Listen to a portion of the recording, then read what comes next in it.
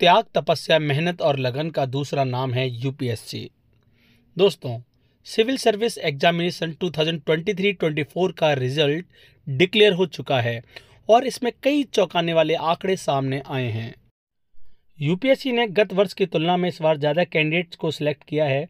1016 candidate की list निकाली है जो आईएएस, आईएफएस, आईआरएस, आईपीएस के रूप में काम करेंगे।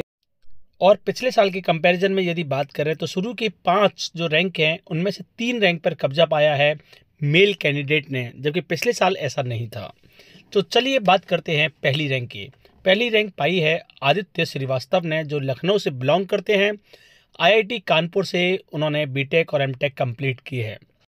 वहीं यूपीएससी की इस परीक्षा में दूसरे पायदान पर रहे हैं अनिमेश प्रधान। और इनको भी बहुत बहुत शुभकामनाएँ सफलता के लिए।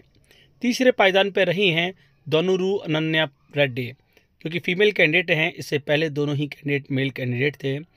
और इनको भी शुभकामनाएँ। तीसरे के बाद चौथे नंबर पर जिन्होंने जगह पाई है, इनके बारे में कुछ विशेष मैं आपको बताना चाहूँगा।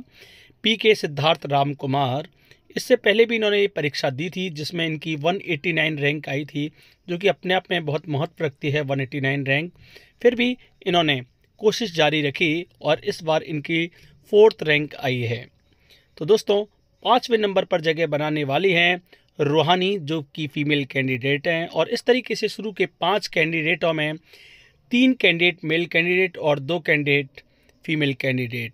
तो इस बार अगर हम शुरू के पाँच रैंक के हिसाब से बात करें तो पुरुषों ने बाजी मारी है।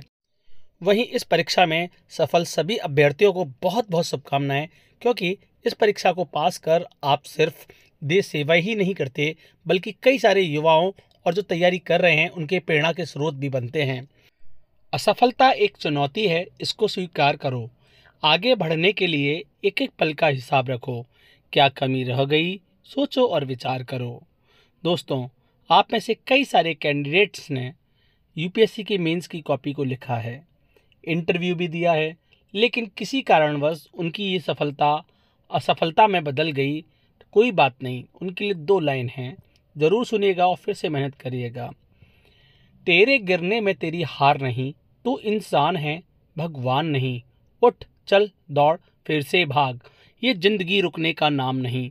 तू कई बार हारेगा, लेकिन हर बार नहीं, क्योंकि ये तेरे जीवन की अंतिम सांस नहीं, अंतिम सांस नहीं। असफल वो नहीं जो पास नहीं। असफल तो वो है जिसने पास न होने के बाद भी किया प्रयास नहीं। तो प्रयास ज़रूर करिएगा।